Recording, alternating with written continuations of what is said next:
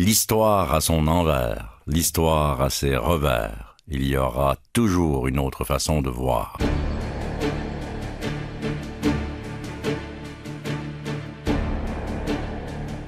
De remarquables oubliés, une série de contes historiques qui prend le parti des oubliés et des maltraités de l'histoire. Aujourd'hui, Serge Bouchard raconte Francis Pegamagabo, un caporal ojiboué qui fut soldat lors de la Première Guerre mondiale. Cet ancien combattant amérindien, le plus décoré de l'histoire du pays, dut à son retour poursuivre le combat, mais cette fois pour améliorer la condition de vie de son peuple. Quelque 30 ans avant son époque, la province du Canada commence, dans les années 1840, à s'intéresser aux terres des Amérindiens le long des rives nord du lac supérieur et du lac Huron. Les compagnies minières envoient des arpenteurs et des ingénieurs dans la région pour prospecter. Les Indiens qui y habitent protestent. Lord Elgin, alors gouverneur général du Canada, charge William Robinson d'acheter autant de terres aux Indiens que possible. Les traités négociés avec les Chippewas cèdent à la couronne les rives du lac supérieur et du lac Huron. Les chefs promettent de ne pas nuire à la prospection et à l'exploitation des mines dans les zones cédées. En échange, ils reçoivent une réserve, un paiement en espèces et une annuité dans les années subséquentes. Depuis 1828, on assiste à une modification de la politique canadienne envers les Indiens on transforme l'alliance qui avait été établie avec eux par une politique impérialiste de colonisation et de civilisation des sauvages. C'est dans cet univers où les Indiens voient leurs terres se rétrécir comme peau de chagrin que va naître et grandir Francis Pegamagabo.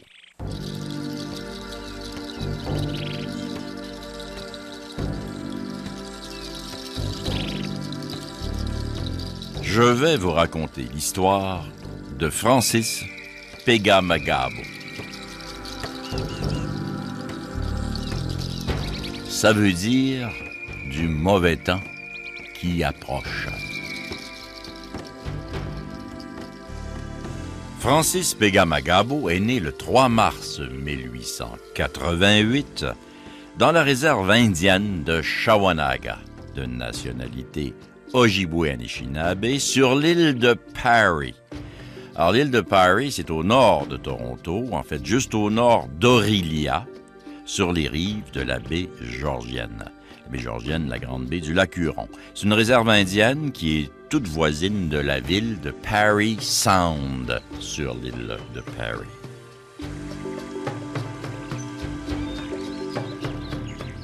Les Ojibwe Anishinaabe, c'est un grand peuple algonquien sont grands en nombre de personnes, sont grands en territoire aussi. C'est un peuple algonquien, au même titre que les Cris, que les Inuits montagnais, que les Abénakis, les Algonquins.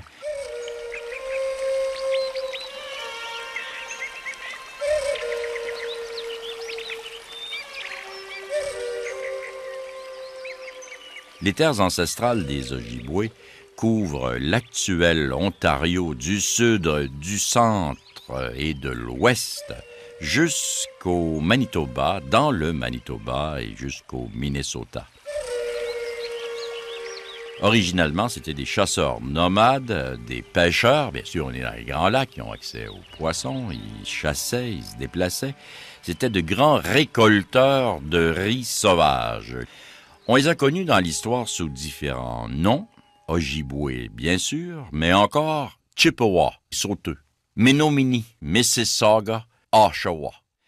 Il n'était pas bon d'être un Ojibwe dans le sud de l'Ontario en 1888 au moment de la naissance de Francis Pegamagabo.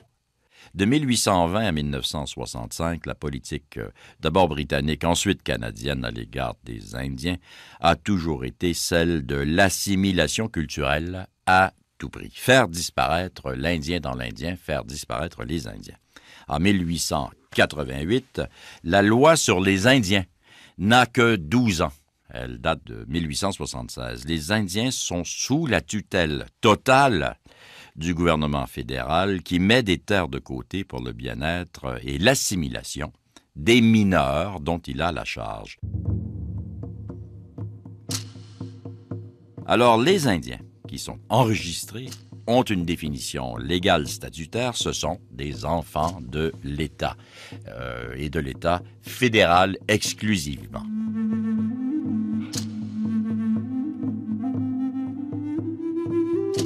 Sur les réserves indiennes, les agents des affaires indiennes ont tous les pouvoirs.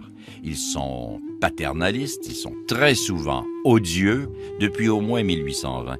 Toutes les nations indiennes qui tombent les unes après les autres sous les griffes du gouvernement par l'enregistrement officiel des individus sous la rubrique Indien avec statut subissent l'humiliation coloniale absolue, unilatérale, sans aucun doute. Alors on perd ses terres, son identité, sa culture, sa langue, son organisation politique, ses croyances, ses cérémonies. On n'accommode pas tout était interdit qui relevait de la culture traditionnelle, une culture qui est bannie, combattue par une bureaucratie dûment mandatée et qui imposait énergiquement la langue anglaise, la structure politique canadienne, la loi sur les sauvages en totalité et en somme.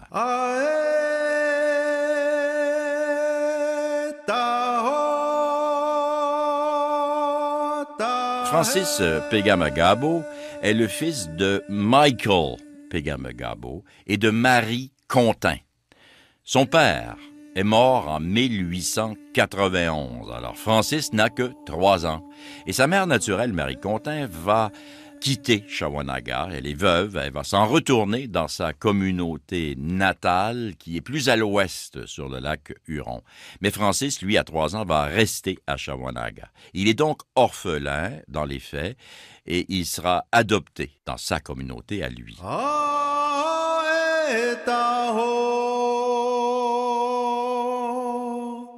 La société Ojibwe, comme les sociétés amérindiennes en général, c'est une société où l'adoption des enfants est une chose courante.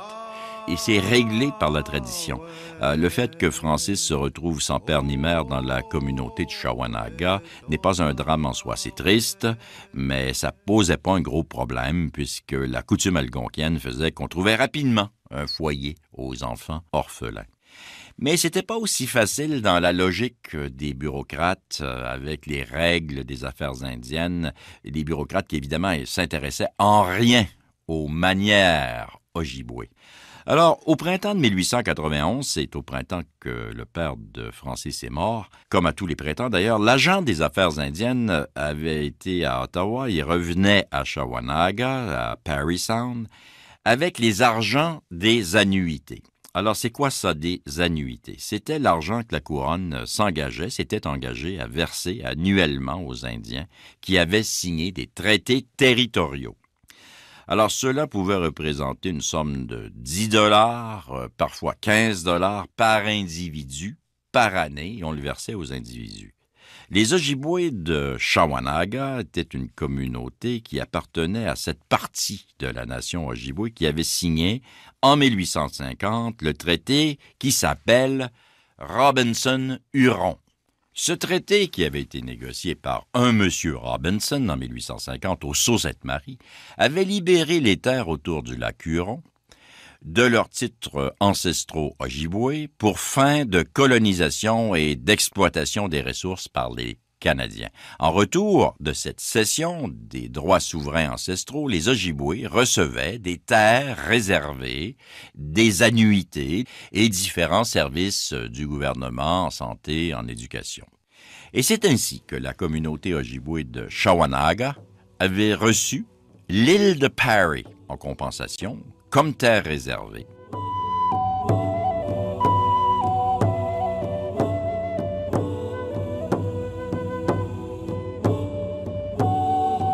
Or, en 1891, l'agent des affaires indiennes à l'île de Paris avait un problème, petit problème avec Francis.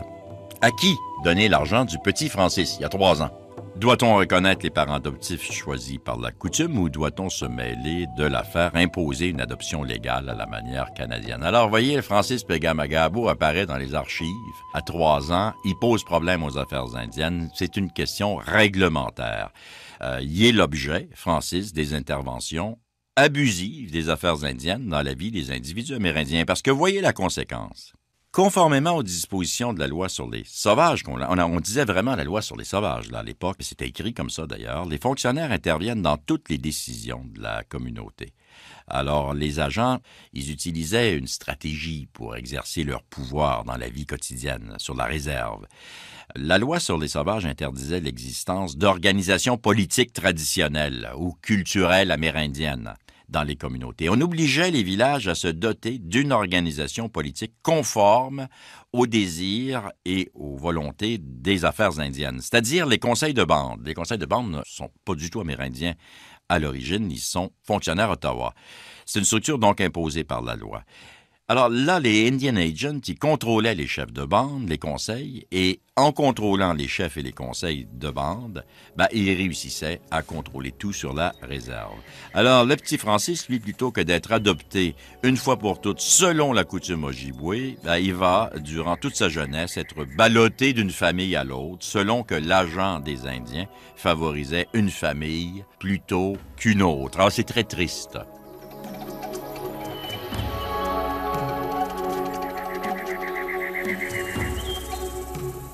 Nous savons peu de choses de la jeunesse de Francis Bégamagabo. Adulte, euh, il parlait très très peu de sa jeunesse, même pas à ses enfants. On peut penser que cette enfance fut malheureuse et difficile. On peut l'imaginer, difficile à cause de l'autorité arbitraire des Indian Agents, dans un contexte de pauvreté aussi, d'humiliation, c'était pas riche, dans un contexte de mauvaises conditions de vie. Les gens étaient malades. Quand il était jeune, là, il était de santé fragile. Il avait des problèmes pulmonaires. Il a quand même été élevé dans la tradition Ojibwe, dans la langue Ojibwe, c'est-à-dire une langue algonquienne, respect des croyances culturelles propres à son peuple. D'ailleurs, il va se soigner par des moyens traditionnels.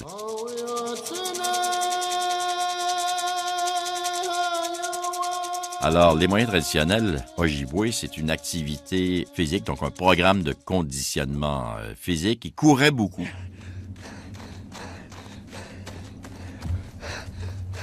Il euh, courait de longues distances euh, entre le village Ojibwe et les rives du lac et les rives de la baie Georgienne. Il s'entraînait très, très fort. Il voulait s'endurcir, se renforcer, se refaire une santé. Les Ojibwe, traditionnellement, pour endurcir leurs guerriers dans les temps anciens, ils les entraînaient à se baigner dans l'eau glacée et ils couraient tout nus dans la neige. Ben, ben, c'est ce que Francis va faire. D'une façon ou d'une autre, il a retrouvé cette santé, puisqu'à l'âge de 20 ans, c'est un jeune homme qui est en pleine capacité de ses moyens physiques.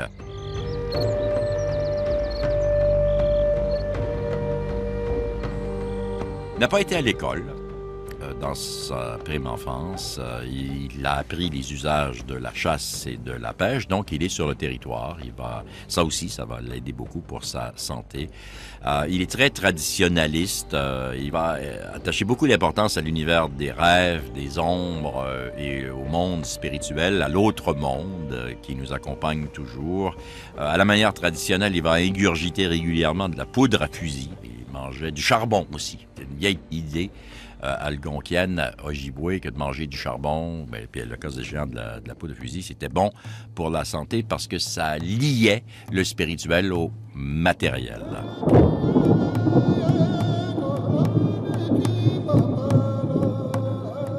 Il aimait beaucoup la musique, Francis Pega Magabo. Et il va devenir un joueur de trompette. Il va faire partie d'un orchestre de cuivre, l'harmonie des Ojibwe de Parry Island. Pour le témoignage qui en reste, on sait que à l'âge de 20 ans, on est en 1908, c'est un jeune homme qui est volontaire, très vivant, curieux, déterminé, qui veut vivre. Il veut s'inscrire à l'école pour adultes à Paris Sound. Il veut s'améliorer, apprendre à lire, apprendre à écrire.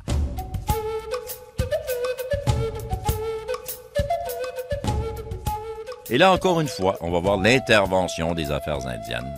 Et l'Indian Agent, c'est lui qui détient le pouvoir de vie ou de mort. C'est lui qui va décider si Francis ira étudier ou pas à Paris Sound.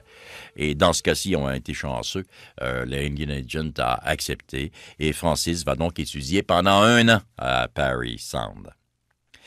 Il veut voyager, il s'intéresse à la culture traditionnelle de son peuple, il s'intéresse aux Ojibwés. Il sait qu'il existe beaucoup de communautés Ojibwés autour des Grands Lacs, mais il ne connaît pas. Il veut les retrouver, il veut les découvrir, et il trouve un bon moyen. Il va s'engager sur les bateaux des pêcheries canadiennes sur les Grands Lacs. Ces bateaux qui posent des bouées, qui enlèvent des bouées et qui approvisionnent les postes isolés autour des Grands Lacs. Alors, pendant quelques années, il va voyager, marin, euh, sont des voyages profitables. Il découvre le monde des Grands Lacs et le monde Ojibwe. Il se rend compte de l'unité de son peuple. Il faut dire que la loi sur les sauvages avait isolé, une fois pour toutes, éparpillé les communautés. C'était devenu des bandes sans liens aucun avec les autres villages, culturellement, politiquement pareils. Mais la stratégie des affaires indiennes, c'était de les éparpiller, que ces communautés ne se parlent pas. Alors, lui, euh, le jeune Francis apprend la richesse de sa culture, et nous savons qu'il prenait des notes à la manière d'un anthropologue, c'est-à-dire qu'il interviewait les vieilles, il interviewait les vieux, il s'intéresse à la culture traditionnelle, il était systématique. Il est fasciné par l'histoire, la culture de son peuple.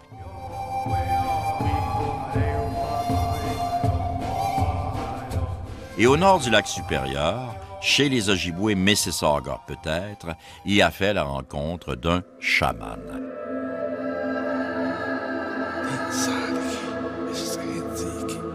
Et ce dernier lui enseigne bien des choses, mais surtout, il va lui donner un sac de médecine.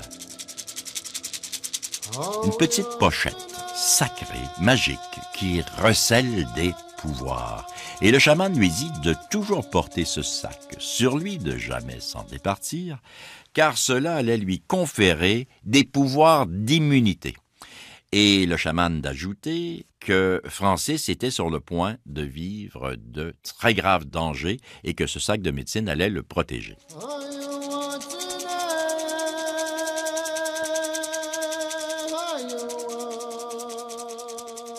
En 1913, une véritable épidémie de typhoïde a frappé la région des Grands Lacs. Francis est tombé malade. Lui qui avait tant travaillé pour euh, sa santé, à l'âge de 24-25 ans, ben, il va être frappé par cette épidémie de typhoïde. Il va passer plusieurs mois à l'hôpital chez les sœurs de Saint-Joseph à Paris Sound.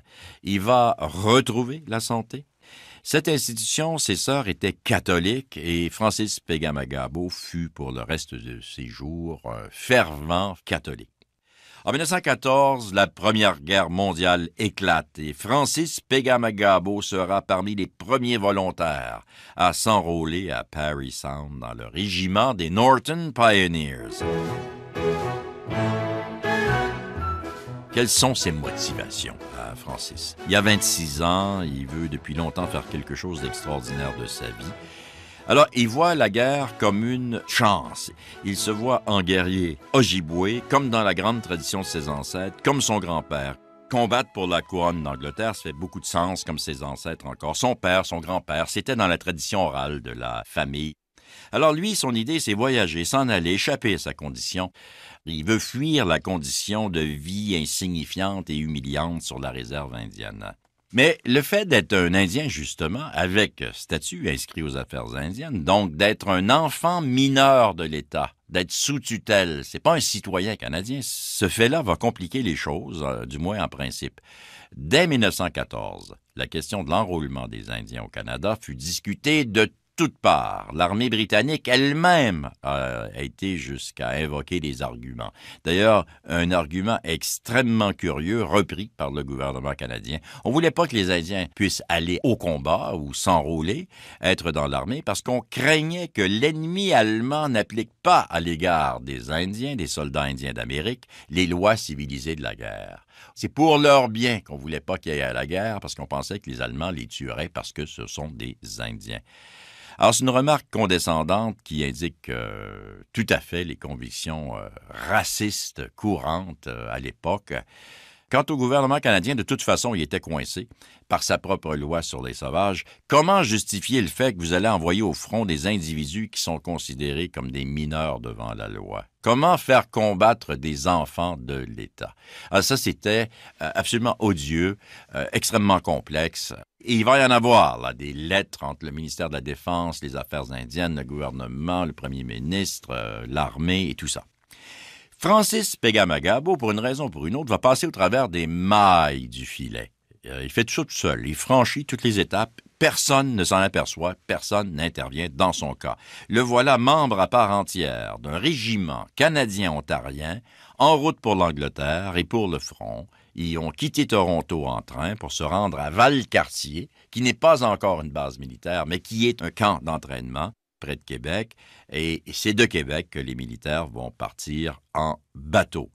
Il fait partie donc du Canadian First Battalion qui arrive en Angleterre en septembre 1914, donc au tout début euh, de la Première Guerre mondiale. Il va arriver au front en France en février 1915. Il semble que Francis Pegamagabo euh, se soit admirablement bien adapté à la discipline militaire. Alors, ce sera toute sa vie. Francis aimait l'armée. Il aime l'armée, il aime les militaires. Euh, il était bon camarade et, on va le voir, bon soldat.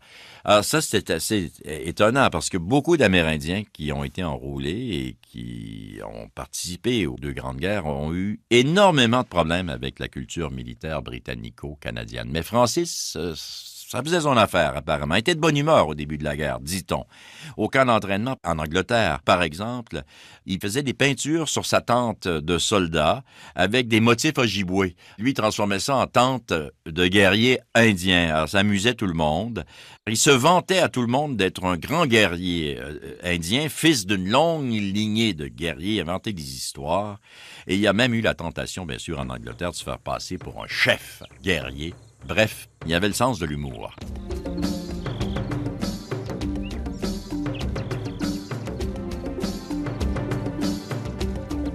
Le baptême du feu euh, eut lieu à la première bataille d'Ypres en avril 1915. Et ce fut tragique, difficile, euh, énorme, le contact avec la réalité. C'est que l'armée allemande va expérimenter pour la première fois le gaz moutarde, c'est-à-dire le chlore, au mépris des lois de la guerre.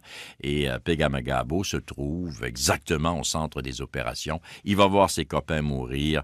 Euh, la bataille a été très dure. La première bataille d'Ypres a coûté la vie à plus de 60 soldats de son bataillon. Mais dès les premiers combats et affrontements dans les tranchées, il sera noté que Francis affiche une bravoure euh, hors du commun. Il est spécial. Il va devenir rapidement un spécialiste éclaireur. Il infiltrait la nuit la ligne euh, du front pour reconnaître les mouvements de l'ennemi. C'est une mission très dangereuse que les soldats détestaient, mais Francis, lui, est toujours volontaire car, il le dira, il adorait les mouvements furtifs et les opérations solitaires. Il était volontaire pour des missions de courrier entre les centres de commande dans les tranchées.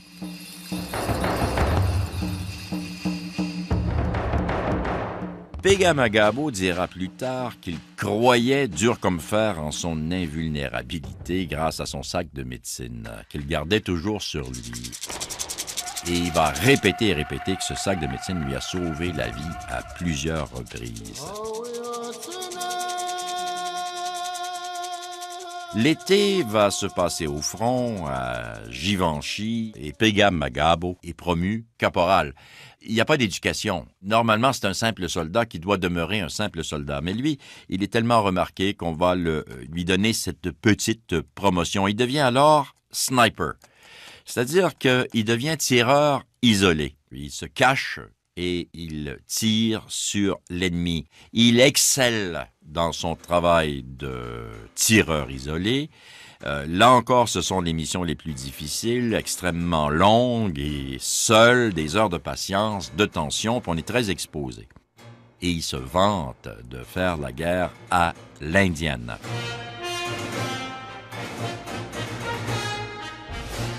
Francis Pegamagabo ne parlait pas et ne comprenait pas bien l'anglais.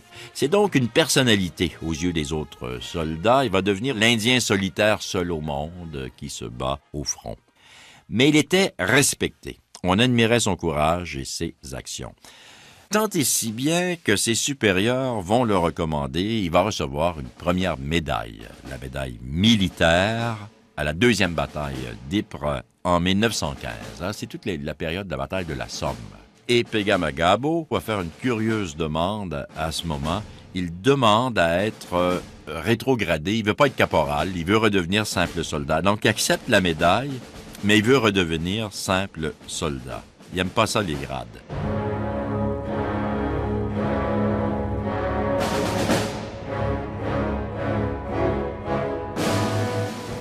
En septembre 1916, il est grièvement blessé à la jambe gauche. Il reçoit des éclats d'obus, sa jambe est à peu près démolie. Il va passer des mois et des mois en convalescence en Angleterre. Normalement, il aurait dû être rapatrié, la guerre était finie pour lui, mais c'est pas le cas de Francis. Il va se remettre sur pied littéralement.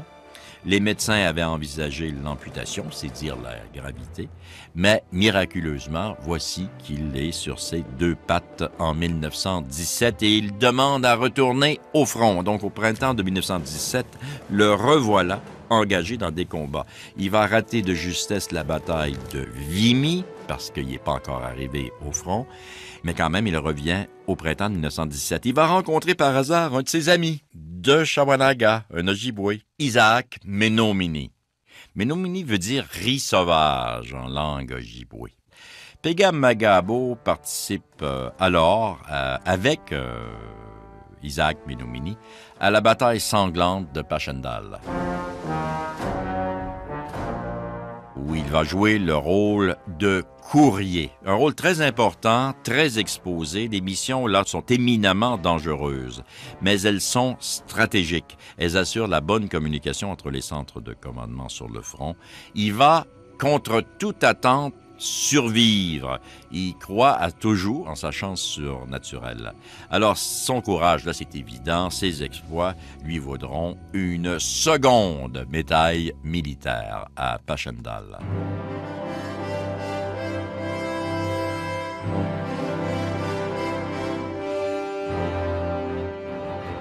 Il ne sera pas blessé euh, dans les combats, mais il va tomber gravement malade. Les conditions, bien sûr, étaient extrêmement difficiles. Il attrape une pneumonie. Il va retourner une deuxième fois pour une longue convalescence en Angleterre. Mais encore une fois, il va récupérer. Il va redemander le retour au front. Il revient en 1918.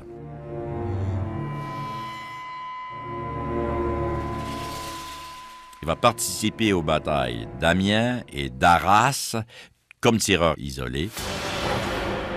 Durant cette euh, dernière étape de son séjour au front, c'est quand même son troisième retour au front. Ça fait quatre ans qu'il est en territoire européen, mais toujours dans la bataille. Il va gagner sa troisième médaille militaire pour bravoure.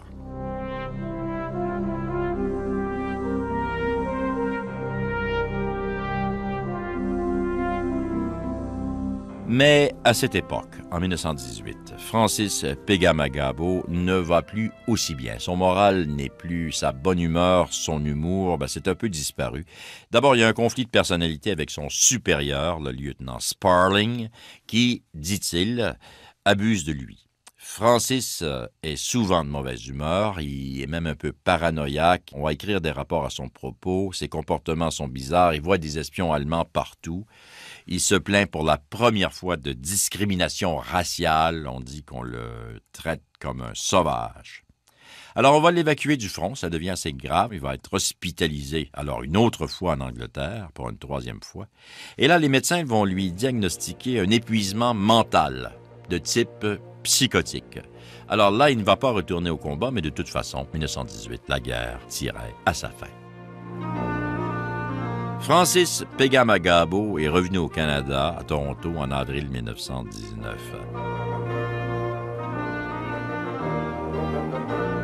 Il est encore sous observation à l'hôpital et finalement à Toronto, les médecins vont recommander son renvoi de l'armée pour cause d'incapacité et d'amenuisement physique et mental.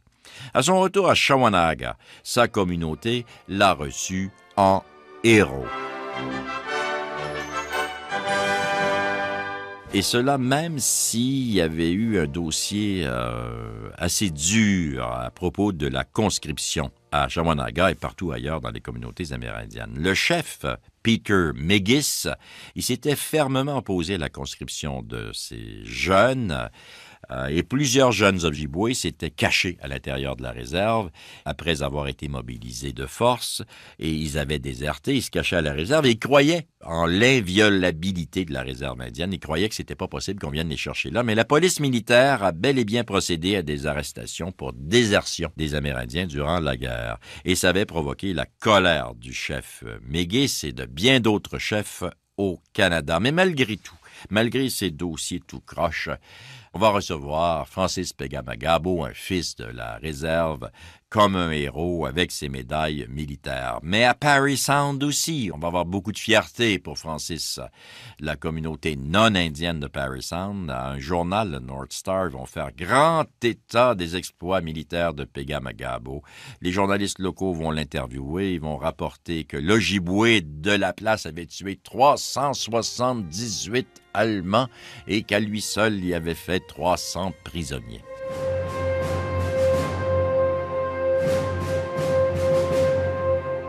En août 1919, quelques mois après son retour, c'est un gros voyage à Toronto pour la cérémonie officielle des décorations. Il y a 200 soldats canadiens qui ont reçu à cette occasion leur médaille militaire des mains même du prince de Galles, futur roi Édouard VIII.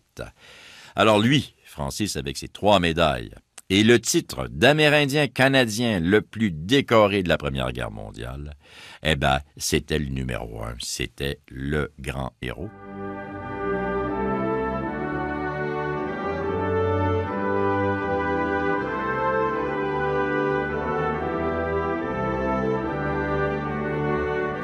Mais curieusement, après 1919, et toute sa famille va le confirmer, plus jamais par la suite il n'a reparlé de ses actions de guerre jusqu'à la fin de sa vie. À son retour, donc en 1919, Francis, qui a maintenant 31 ans, va se marier. il va se marier avec Eva Tronche, qui, elle, en a 16. C'est un mariage arrangé, mais qui est apparemment bien arrangé, puisqu'ils vont rester ensemble jusqu'à la fin de leur jour. Francis a des plans pour le futur. En fait, il veut devenir fermier avec une grande terre et il veut euh, s'installer. Mais le retour, c'est le retour à la dure réalité, car Pegamagabo va reprendre son rôle de simple Indien de la réserve de Shawanaga, sous les pouvoirs absolus de l'agent des Indiens, en l'occurrence un dénommé Logan. Et lui, c'était pas piqué des vers, c'était un vrai odieux. C'est un développeur de Paris Sound, c'est un marchand, il prend pas son rôle d'agent des Indiens très au sérieux.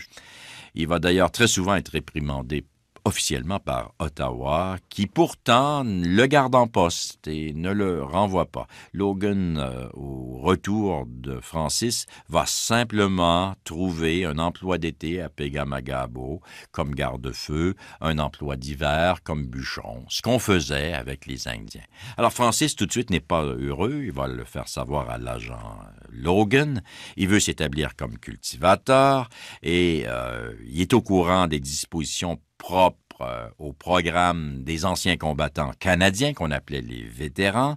Il demande de l'aide pour obtenir un lot, comme les anciens combattants pouvaient l'obtenir, un lot de 100 acres et quelques animaux, dont deux chevaux, pour démarrer son opération. L'agent Logan va tout faire pour s'aborder les projets de Francis Il va écrire aux affaires indiennes que les demandes de Pegamagabo sont irréalistes, que Francis est un incapable, quasi dément. En fait, il va invoquer la démence, selon euh, les médecins qui ont recommandé son renvoi de l'armée. Et il dit, au plus, Pegamagabo devrait se faire jardinier sur deux acres à l'intérieur de la réserve pour faire des petits légumes, mais surtout, il écrit cette phrase méprisante, faudrait surtout pas lui donner deux chevaux, euh, je voudrais pas être à la place des chevaux. Mais les vicieux avis de Logan vont conduire au rejet de la demande de Pegamagabo.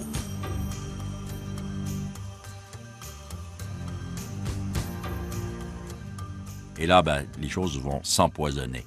Francis est exaspéré. On le considère aux affaires indiennes comme un mauvais sujet car il écrit beaucoup de lettres, il n'arrête pas d'harceler Logan.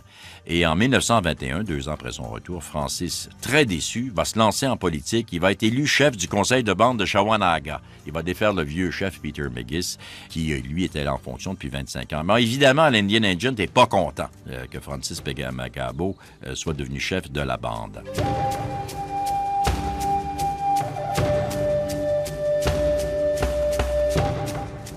Mais les problèmes auxquels le nouveau chef va faire face sont monstrueux.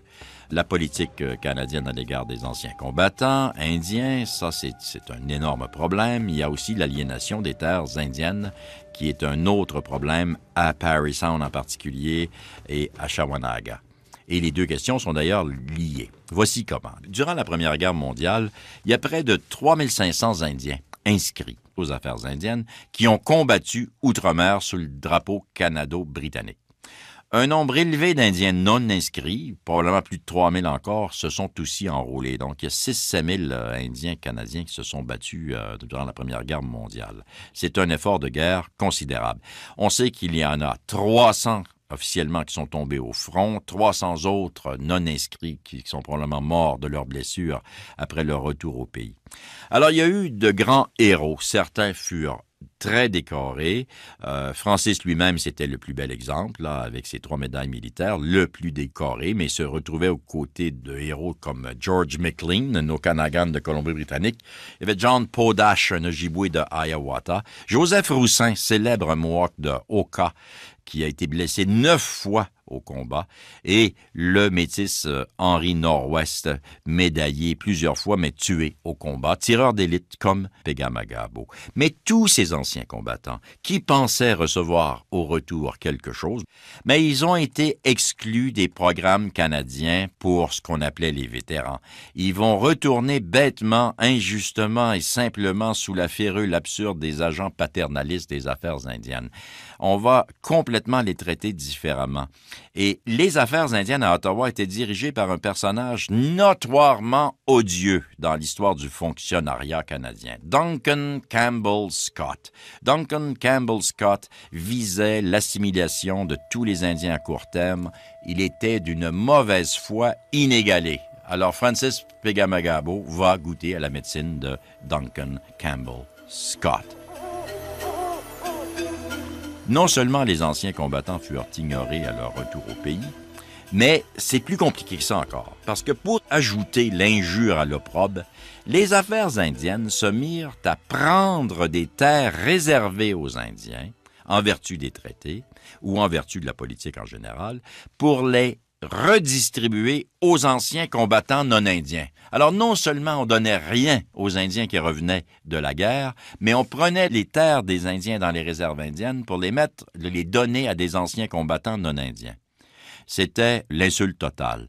Des centaines de milliers d'acres réservés aux Indiens furent transférés à des non-Indiens à l'intérieur des programmes des anciens combattants, et ça excluait les anciens combattants indiens. Bon, bien, bien sûr, ce sont des faits honteux, révoltants. C'est une des politiques les plus discriminatoires que le gouvernement canadien a jamais pratiquées à l'égard des Indiens, puis déjà, il les maltraitait allègrement.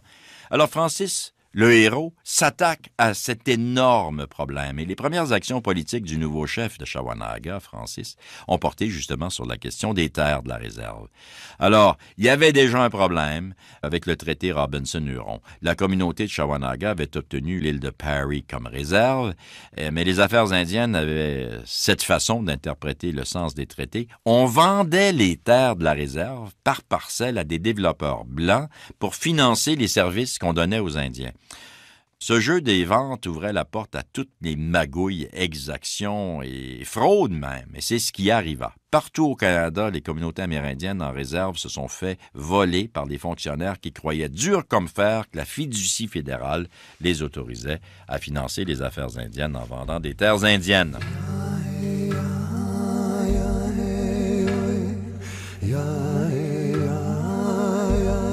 C'est un dossier qui est encore là aujourd'hui.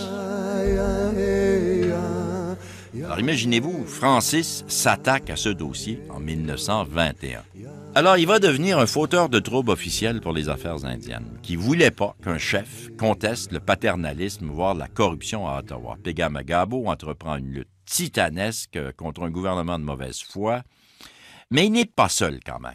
Il va connaître un autre vétéran amérindien, Frédéric Ogilvy Loft, qui est un Mohawk, qui est membre du conseil des Six Nations Mohawks hein, dans le sud de l'Ontario. C'est un homme éduqué qui était lieutenant dans l'armée.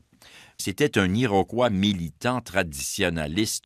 Et dès son retour de la guerre en 1918, il s'est lancé dans la politique euh, et il a rapidement voulu créer la Ligue des Indiens de l'Ontario. Et sa position à Loft était originale. Il voulait réunir tous les Indiens du Canada dans une seule organisation politique autonome, province par province, pour faire face aux exactions du gouvernement fédéral. Les affaires indiennes ont réagi très fortement à ces démarches politiques. En 1927, la loi sur les Indiens fut modifiée et on a rendu illégale toute levée de fonds dans les réserves indiennes par les Indiens pour des fins politiques. Et surtout, c'était illégal d'embaucher un avocat avec ses argents. Pegam Agabo, qui lui est chef d'une communauté locale, il va rencontrer Loft en 1921, il va s'initier à ces grands débats politiques, il va devenir un fidèle militant, un grand revendicateur. Et lui-même va tenter l'unification des Ojibwe, c'est une vieille idée depuis sa jeunesse, dans le centre de l'Ontario. Plusieurs, plusieurs communautés voulaient les réunir. Mais sa guerre dans son village est très dure contre l'agent des affaires indiennes. Euh, c'est toujours ce fameux Logan.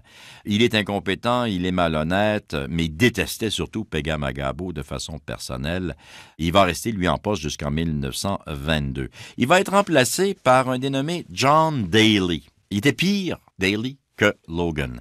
Il va s'obséder, il veut détruire Pegamagabo. C'était un homme autoritaire au jugement péremptoire, une tête dure au service d'un paternalisme absolu. On ne peut pas mieux le décrire. Il voulait le bien des Indiens et ce bien passait par l'assimilation et la soumission. En 1924, Pegamagabo va continuer à suivre les stratégies de Loft et des Iroquois. Il y a beaucoup de contacts avec les Iroquois. Il va tenter d'obtenir une pétition parmi les réserves Ojibwe pour passer par-dessus les affaires indiennes, passer par-dessus Ottawa et s'adresser à la couronne anglaise. Alors Daly, là, il s'énerve, il va s'attaquer localement, il va discréditer Pegam Magabo, il va tenter de le mettre sous tutelle. Il va monter les Ojibwe contre leur chef, il va invoquer le fait que Pegam Magabo était fou, instable, il va tout faire pour briser la réputation et la crédibilité de Pegam Magabo. Euh, les deux hommes étaient entraînés dans un tournoi guerrier sans merci, mais c'est Pegamagabo qui va finalement payer le prix. Il va abandonner son poste de chef.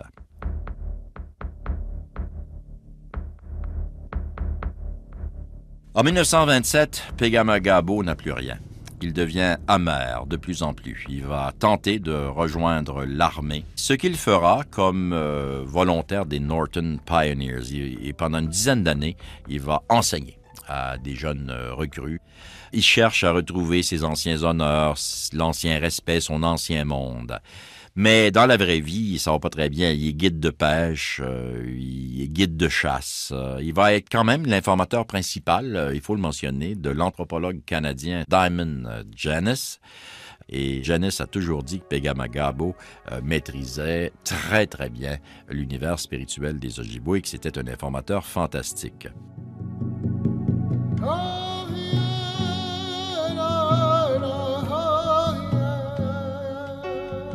Au début des années 30, bien sûr, c'est la crise économique pour tout le monde. C'est la crise économique aussi pour les Indiens. Faut mentionner ici que Francis Pegamagabo a des enfants. Il y en a trois en 1930. Il est toujours avec Eva Tronche. Il a repris un peu de service sur les bateaux des Grands Lacs. Mais ses blessures de guerre le rattrapent. Il y a de fréquentes pneumonies, il fait de l'emphysème, il y a des maux de tête, il y a des hallucinations, il ne dort pas la nuit, il y a des cauchemars. Toujours les mêmes cauchemars d'ailleurs. Il rêve toujours qu'il se fait descendre par un Allemand embusqué. Il rêve toujours qu'il est enterré par des glissements de terrain causés par des explosions. Et dans les faits, ça lui était arrivé. Il avait déjà été enterré par euh, des déplacements de sol causés par des explosions. En fait, Francis vivait les séquelles de ses services militaires. Il fait donc une demande pour une pension d'invalide aux anciens combattants. Et les médecins euh, le déclarent invalide à 30% et ils vont relier, bien sûr, ces invalidités à son service militaire. Mais ça marche pas bien. Pegamagabo devra se battre pour obtenir cette pension parce qu'on considérait qu'il était un enfant des affaires indiennes et que c'était pas un vrai vétéran. Il va finalement obtenir un forfait de 959 dollars, ainsi qu'une rente mensuelle de 6 dollars 15. Mais là, ces sommes ne lui furent jamais versées directement. Ces argents étaient administrés par l'agent des affaires indiennes imaginées, conformément à la loi sur les Indiens. L'agent qui était son pire ennemi personnel, le fameux Daly. Il détenait les cordons de la bourse et il ne s'est jamais gêné pour en faire baver son ennemi. Il était odieux. Et Francis Pegamagabo n'en peut plus, on le comprendra. Il est désespéré de sa propre situation. Alors imaginez, lui, le héros militaire, celui qui a voulu faire de la politique, défendre son peuple, est abusé en son propre pays, il est quotidiennement humilié, rabaissé. En 1939, Francis a six enfants maintenant. Et son idée, son obsession, c'est les faire éduquer. Il veut les envoyer à l'école, mais il a besoin d'argent. Alors il travaille très fort, et c'est toujours des petits jobs à gauche et à droite. Il souffre toujours de plus en plus de ses blessures de guerre. Sa jambe le fait souffrir, ses poumons. Mais la guerre va le servir encore une fois en 1939. Il va devenir gardien de sécurité dans une usine de guerre de la CIL qui fait de la poudre explosive TNT et qui est située à Nobel, près de Paris Sound. il devient agent de sécurité durant toute la période de la guerre. Et c'est à titre, bien sûr, d'ancien combattant qu'il va obtenir cet emploi jusqu'en 1945. Puis financièrement, ça va l'aider beaucoup pour l'éducation de ses enfants. En 1939, il a maintenant 51 ans. Il est absolument contre la participation des Indiens à la guerre. Lui, l'ancien héros militaire. Il conteste l'enrôlement obligatoire des jeunes Indiens en 39-45. Sa contestation est fondée sur les arguments suivants. Les Indiens n'ont pas le droit de vote au Canada ils ne sont pas des citoyens canadiens, ils sont en tutelle selon la loi. Alors Pegamagabo dit c'est pas normal de les envoyer à la guerre. Et en plus, le Canada maltraite les anciens combattants amérindiens. Il le sait bien, il l'a vécu. Alors il fait tout en son pouvoir pour protester, influer, alerter. Il est contre la conscription des jeunes Amérindiens.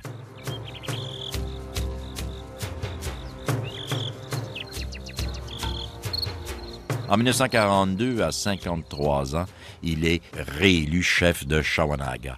Il n'est pas au bout de ses peines puisque l'agent Daly est devenu vieux et remplacé par Samuel Devlin, et lui, il est encore pire que les deux autres.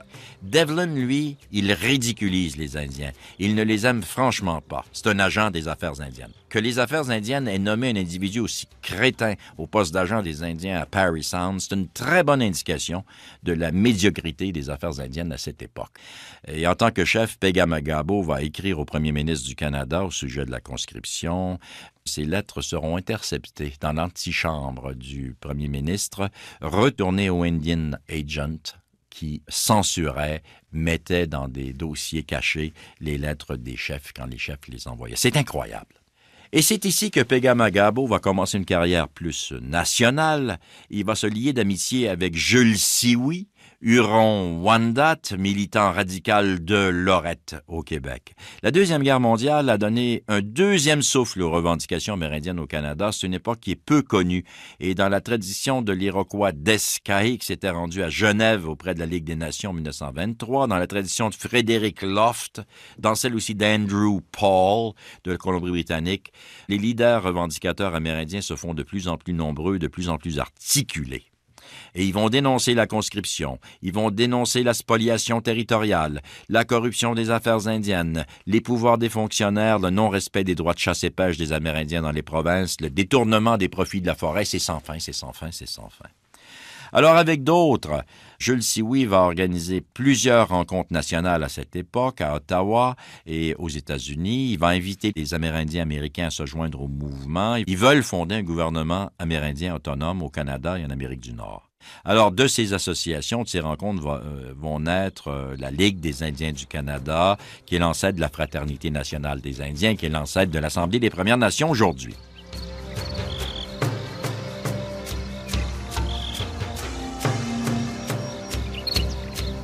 Francis Pegamagabo sera de tous les coups. Il devient une figure légendaire. D'ailleurs, ces associations vont faire un travail titanesque et elles relevaient des défis impossibles. Il voulait redresser les torts d'une politique canadienne odieuse qui avait commencé en 1820 puis qui se poursuivait avec plus de force encore en 1945. Jusqu'à la fin, les affaires indiennes vont avoir recours aux tactiques les plus malhonnêtes, les plus viles à l'égard de Pegamagabo. Devlin a essayé de le ruiner financièrement en lui disputant ses pensions, en retenant ses chèques. Il, il voulait le faire passer pour fou et dans les faits, la bureaucratie fédérale l'a combattu par tous les moyens.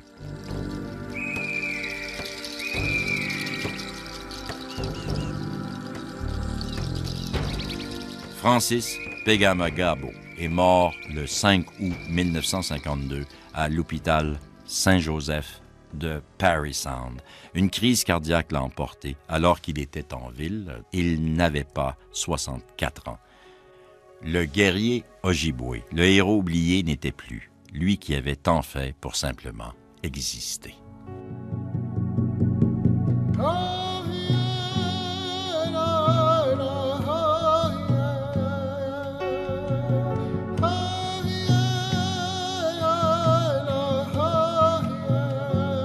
Francis Pegamagabo, un autre remarquable oublié, dont le simple récit de la vie fait état de tout le drame amérindien au Canada.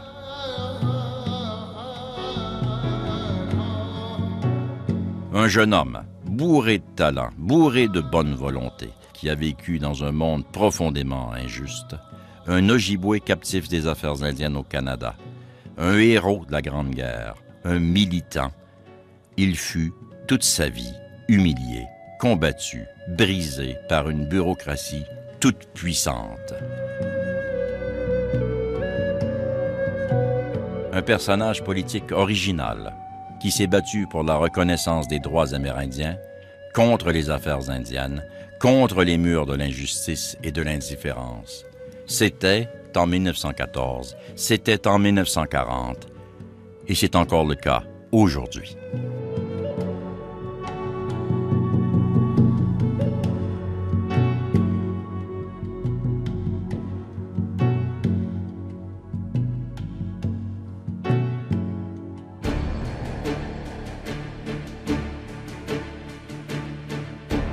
Pegamagabo a écrit Le gouvernement semble certain qu'un Indien ne vaut pas un sou, pas un mot, pas même une personne, mais constitue un assez bon matériel de guerre. Je me sens triste pour mon peuple et pour mes compagnons d'armes. Même sur sa pierre tombale, le ministère des anciens combattants avait omis de signaler ces trois médailles de bravoure. La situation fut finalement corrigée en 1997 une plaque commémorative honorant les anciens combattants algonquiens et Pegamagabo a été dévoilée en 2003 à Paris Sound. Il est intéressant de noter que, toute proportion gardée, la participation des Autochtones à l'effort de guerre du Canada a été plus importante que tous les autres groupes de Canadiens. Serge Bouchard racontait à sa manière Francis Pegamagabo en s'inspirant de Pegamagabo, Legendary Warriors, Forgotten Hero, par Adrian Hayes aux éditions Fox Meadow. Recherche Lise Ménard, prise de son, montage et mixage sonore Réjeanne Leblanc, recherche musicale Lise Ménard et Rachel Verdon, présentation, choix musical et réalisation Rachel Verdon. De Remarquables oubliés est une idée originale de Serge Bouchard et Rachel Verdon.